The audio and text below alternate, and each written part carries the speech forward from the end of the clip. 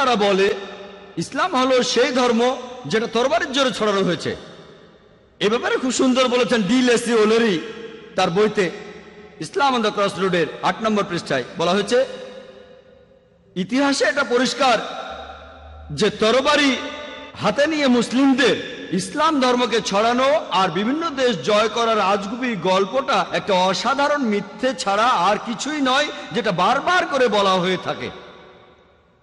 ডিলেসি ওলেরি খুবই বিখ্যাত ঐতিহাসিক। তিনি বলেছেন, ইতিহাসে এটা পরিষ্কার যে চরমপন্থী মুসলিমদের তরবারি হাতে নিয়ে ইসলাম ছড়ানো আর বিভিন্ন দেশ জয় করার গল্প একটা অসাধারণ মিথ্যে যেটা বারবার বলা হয়ে থাকে। ইতিহাস আমাদের বলে যে আমরা মুসলিমরা আটশো বছর স্পেনে রাজত্ব করেছি।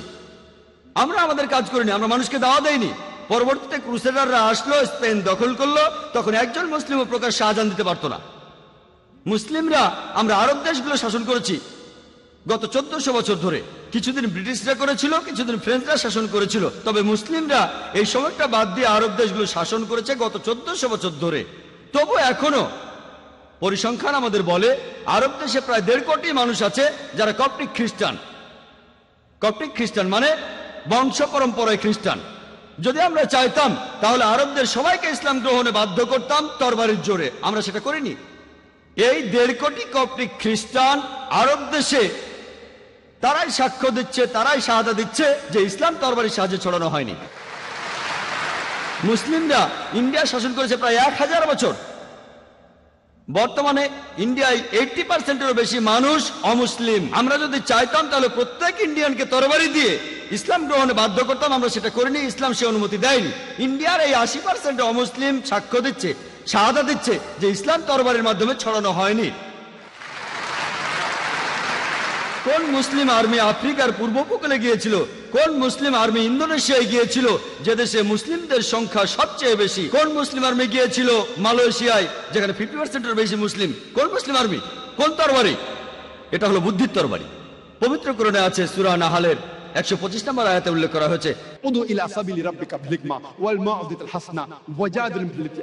প্রতিপালকের পথে মানুষকে আহ্বান করো হিকমত ও সদুপদেশ দ্বারা এবং তাদের সাথে তর্ক করো আর তাদের যুক্তি দেখাও সবচেয়ে উত্তম ও গ্রহণযোগ্য পন্থায়। একবার একটা আর্টিকেল ছাপা হয়েছিল রিডার্স ডাইজেস্ট অ্যালবাইনা কেয়ার বুকে উনিশশো সালে এটা পরে প্লেন ট্রুথ ম্যাগাজিনও ছাপা হয়েছিল।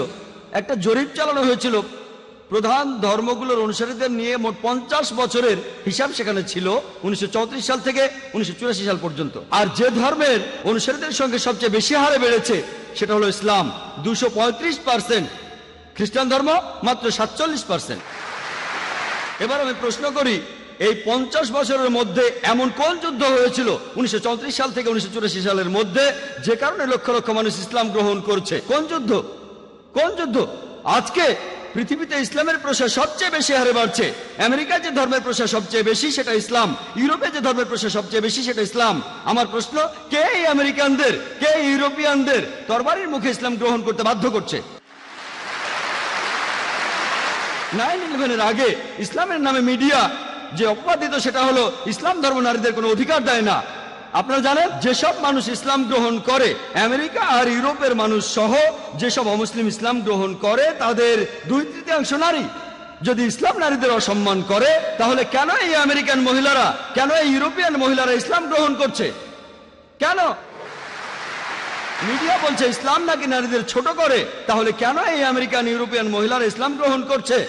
কারণ, ইসলাম মানুষের বিভিন্ন সমস্যার সমাধান দিতে পারে, বিশেষ করে নারীদের জন্য। তারা ইসলামের নিরাপত্তা খুঁজে পায়। ইয়োহান রেড্ডির নাম শুনেছেন? তিনি গিয়েছিলেন আফগানিস্তানে স্পাইং করতে তালেবানদের উপরে। সেখানে ধরা পড়ে সাত দিন ছিলেন। যখন ফিরে এলেন, তিনি তাদের উপর মুগ্ধ। এখানে সময় কম তাই বিস্তারিত বলছি না। অনেকে হয়তো জানেন, তিনি কোরআন পড়ার পরে ইসলাম গ্রহণ করেছেন। লোকে প্রশ্ন করেছে, তালিবানরা কেমন ব্যবহার করেছে? আমাকে তারা অতিথির মতোই আপ্যায়ন করেছে। তারা যথেষ্ট সম্মান করেছে। তিনি বলেন, তার সাথে খুবই ভদ্র ব্যবহার করেছে। তার মনোভাব বদলে গেছে। এখন তিনি ইসলাম গ্রহণ করে হিজাব পালন করেন। একজন ব্রিটিশ রিপোর্টার সেখানে গিয়েছিলেন মুসলিমদের বিরুদ্ধে লেখার জন্য। তিনিও ইসলাম গ্রহণ করেছেন, আলহামদুলিল্লাহ। আর নাইন ইলেভেনের পরে যখনই আমি আমেরিকা অথবা ইউরোপে যাই, আগের চাইতে অনেক বেশি অমুসলিম আমার লেকচার শুনতে আসে। তারা আমেরিকান তারা ইউরোপিয়ান। সবাই আসে। পবিত্র কোরআনে আছে সুরা ইমরানের চুয়ান্ন নম্বর আয়াতে উল্লেখ করা হয়েছে যে মাকারু মাকার আল্লাহ আল্লাহ খায়রুল মাকরিন। আর তারা চক্রান্ত করেছিল আল্লাহ কৌশল করেছিলেন আল্লাহ সর্বশ্রেষ্ঠ কৌশলী। নাইন ইলেভেনের পরে মাত্র নয় মাসের মধ্যে শুধুমাত্র আমেরিকায় চৌত্রিশ হাজার মানুষ ইসলাম গ্রহণ করেছে। ইয়োহান রেডলির কথা অনুযায়ী নাইন ইলেভেনের নয় দশ মাস পরে বিশ হাজার ইউরোপিয়ান ইসলাম গ্রহণ করেছে। তারা যতই আক্রমণ করছে, ইসলাম ততই উপরে উঠে যাচ্ছে। কিন্তু আমরা কিছু করছি না, আমাদের কারণে এসব হচ্ছে না। আমরা দায়িত্ব পালন করছি না। আল্লাহ প্রতিশ্রুতি দিয়েছেন কোরআনে, সব মিলিয়ে মোট তিনটি আলাদা জায়গায়। সুরা সাফের নয় নম্বর আয়াতে উল্লেখ করা হয়েছে, সুরা তওবা তেত্রিশ নম্বর আয়াতে উল্লেখ করা হয়েছে, এবং পবিত্র কোরআনে সুরা ফাতার আঠাশ নম্বর আয়াতে বলা হয়েছে হুয়াল্লাজি আরসালা রাসূলাহু বিল হুদা ওয়াদ দীনিল হক।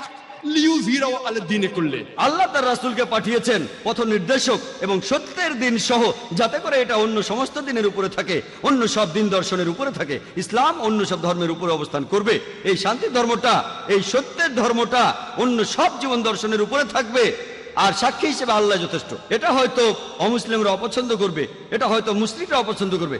ইসলাম অন্য সব ধর্মের উপরে অবস্থান করবে। ইসলাম প্রচারের জন্য আমাদের কোনো দরকার নেই আল্লাহর। আমাদেরকে আল্লাহর কোনো প্রয়োজন নেই।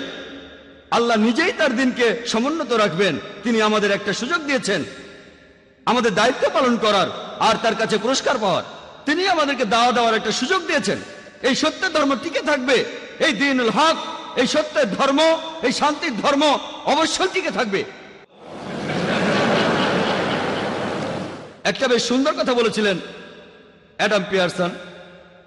তিনি বলেছেন, যারা ভয় পায় যে একদিন পারমাণবিক বোমা হয়তোবা আরবদের হাতে চলে যাবে, তারা এটা বুঝতে পারে না যে ইসলামের আসল বোমাটা অনেক আগে পৃথিবীতে পড়ে গেছে। বোমাটা পড়েছে যেদিন নবী মোহাম্মদ সাল্লাহ সাল্লাম জন্ম নিয়েছিলেন।